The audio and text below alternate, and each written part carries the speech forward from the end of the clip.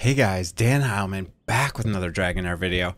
Today's going to be uh, a fairly short video. I want to talk about enlightenment. So I, it's probably like one of the very, very common questions that people ask on Discord. What is enlightenment? What does it do? Who do I need to put it on? How do I get it? Etc. So we're going to go through all of that right here. So if you click the hero tab and then if you click over here on the stats, it tells you what everything does. Now, it's not exactly perfect. So, uh, very first thing enlightenment affects derivative damage or directly becomes the coefficient of some skills. I'll explain that in a minute.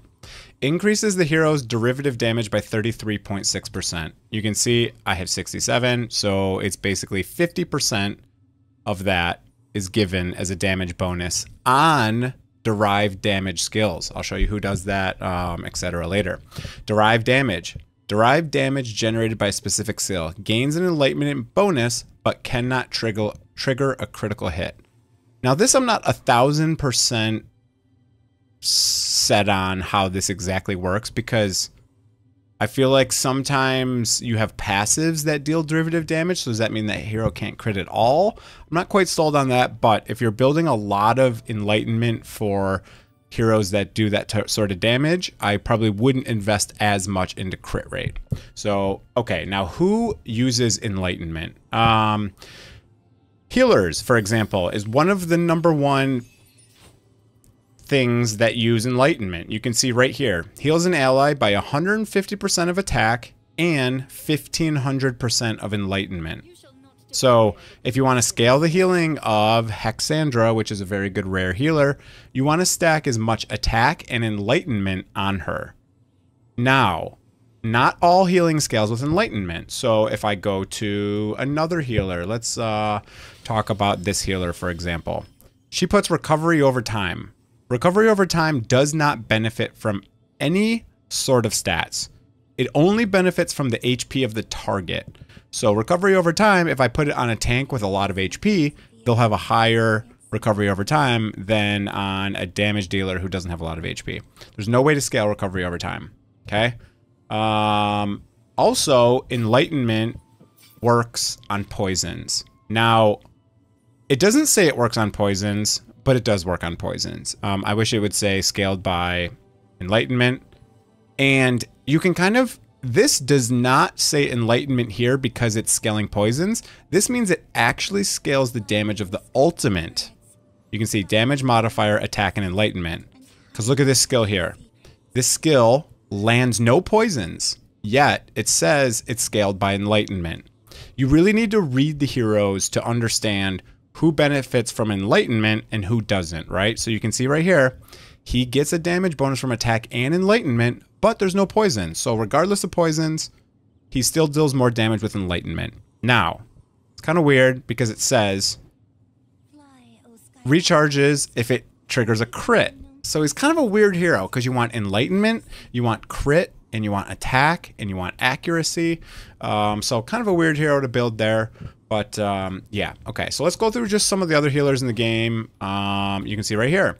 Heals allies caressed by the wave by attack and enlightenment. So again, you can even see that it says damage modifier, attack, and enlightenment as well. So this healer actually deals damage based on attack and enlightenment and heals based on attack and enlightenment. So very important. Again, here's the same thing. Enlightenment. Now, I'm trying to think of another healer who doesn't scale from enlightenment. Uh, here we go.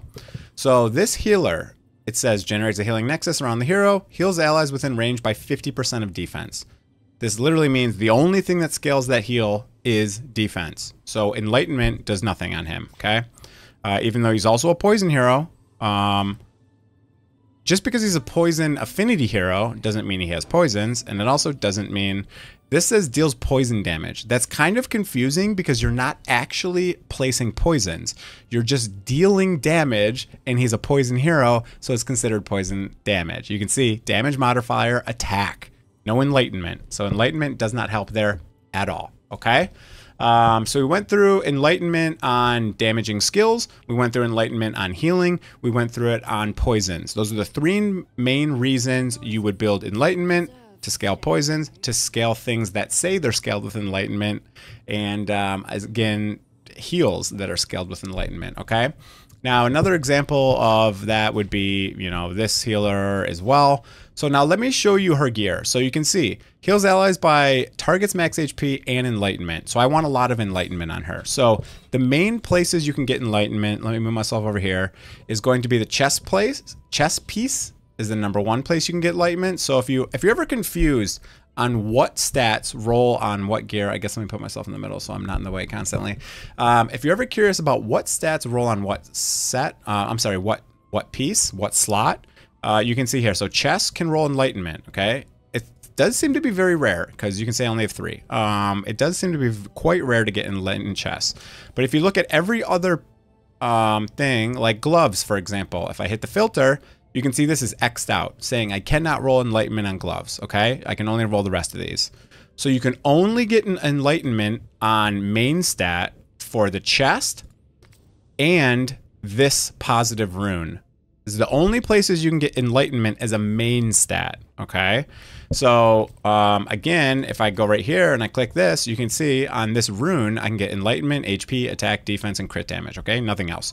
So Enlightenment is only available as a main stat on two slots, um, but you can get it on substats as well. So if now if I look at something like this, and I click right here, you can see I cannot roll Enlightenment on the other rune slot, but I can get Enlightenment as a substat on basically everything, unless it already has Enlightenment as a main stat. You can never have a main stat and a substat that's the same. Can never have that. So you couldn't get Enlightenment main stat with Enlightenment substat. That's not possible. So if you're trying to scale healers and stuff like that, um, you're going to want Enlightenment plus whatever other stat they benefit from. It's either attack or target HP. Obviously, you can't change target HP by gearing your healer, but you can obviously increase their HP. But basically, you just have um, Enlightenment, and then I like focusing on Skill Haste as a healer. Um, skill haste, enlightenment. If it scales with attack, build attack as well. It kind of sucks when you have an attack scaling healer because you can't really just go full attack on them because then they're too squishy and they can't really survive. So sometimes you got to make some concessions there and you got to maybe go enlightenment chest, maybe attack gloves, and then try to get a lot of HP substats in your other gear or something to make up for it. But again, um, you can get enlightenment for all these other heroes. Um, another really strong damage dealer that scales from Enlightenment is Flora. She is basically one of the exclusive heroes who's very, very strong. Um, I wish I got a copy of her. So this girl, you build a lot of Enlightenment. Um, and this is the one I was kind of confused on, right? So it says, every time an ally launches a successful wild, the familiar stays and deals damage, dealing fire damage, okay? Um, this says fire damage, and then this says deals fire damage to enemies, creating a fire whirlpool. While the whirlpool is active, the target takes additional derived fire damage from wild.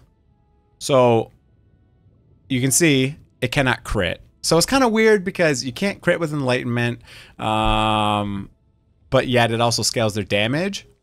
And they can crit with other abilities. It just means that others can't crit. Now, let me show you one final example of damage dealers who scale with enlightenment um, that are kind of weird is um, Filto here. So Filto, his main thing says launch a basic attack that causes an arcane explosion when it hits an enemy, dealing derived radiant damage to enemies within range. The hero will not get any attack speed bonus. The attack will be carded, blah, blah, blah. So it says attack, but it says derived radiant damage. That means enlightenment benefits him. But if you scale all enlightenment, that means he's not going to be able to crit on his autos, so crit is not as useful. But also, none of his other abilities scale with Enlighten. I'm going to call it Enlighten because Enlightenment is so long. Enlighten. So you can see this says damage modifier attack. It only works on his basic attack. So honestly, I'd probably just ignore Enlighten on him because you want to build him with crit rate and crit damage anyways because he's a hard-hitting AoE nuker and only his auto attacks scale with derived damage, meaning enlighten, enlightenment. You can see here, it gains an enlightenment bonus, but cannot trigger a crit. So if I build him with 100% crit, then his auto attacks, if they deal enlightened damage or derived damage, they're not going to crit. So it's kind of weird. For this guy, I would just build him crit and crit damage. So that's kind of the full explanation on enlightenment. There's um, a lot of questions that people ask about enlightenment. So I just want to make a video about this. Um, I hope that's clear for everyone. So hope you guys enjoyed the video. That's going to be it. Have a great day, everyone. See you guys.